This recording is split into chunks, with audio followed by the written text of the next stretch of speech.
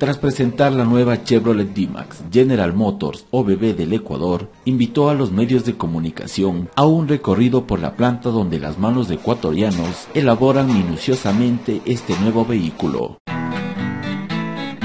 John Werner, gerente de operaciones de GM fue el encargado de explicarnos a detalle cada una de las áreas de producción. Todo empieza en el área de suelda, donde se reciben las partes. Y juntamos estas partes a través de un proceso de soldadura, que es un arco eléctrico por, por una pinza, básicamente. El piso del vehículo es el primer segmento que se une con otras partes para formar el esqueleto. Ese esqueleto del vehículo va para una área final donde metemos las partes del capó, puertas, pasa por una inspección final de la calidad del, metal, por ser, y es enviado ahí al proceso de pintura.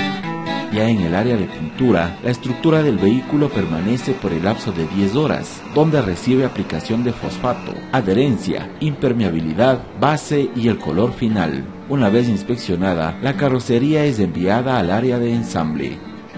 Empezamos a hacer la vestidura del, vehículo, el margen del vehículo, desde la parte de los asientos, las alfombras, cuando la carrocería ya tiene todos sus accesorios, el motor es acoplado en un proceso denominado matrimonio. Y al final el carro va ya en la línea final, donde hacemos el llenado de fluidos al vehículo, fluidos de, de combustible, fluidos de freno, aire acondicionado. Una vez armado el nuevo vehículo está listo para su primera prueba, la impermeabilidad. Va para una área de, de donde hacemos una prueba de agua esta prueba d'água, el carro queda ahí por aproximadamente dos minutos y medio en un diluvio para, para garantizarnos que el carro sí está impermeable, o sea, no entra nada de agua. Si no registra novedades, la camioneta experimenta las siete pistas que simulan los diferentes tipos de camino para los cuales fue diseñada. Y ahí va al final para una inspección, reinspección de una calidad total del vehículo, que se llamamos de línea CARE, que es del cuidado al vehículo, y ahí el carro sale y es enviado a la niñera y por supuesto al concesionario y al cliente. Y luego de haber recorrido toda la planta, aquí está la nueva Chevrolet D-Max lista para los usuarios.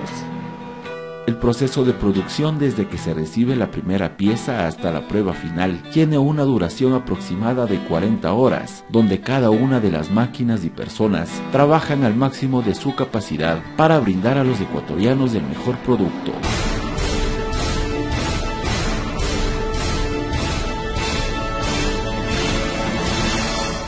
En Quito, con imágenes de Diego Martínez, Paolo Ponce, Prisma Informativo.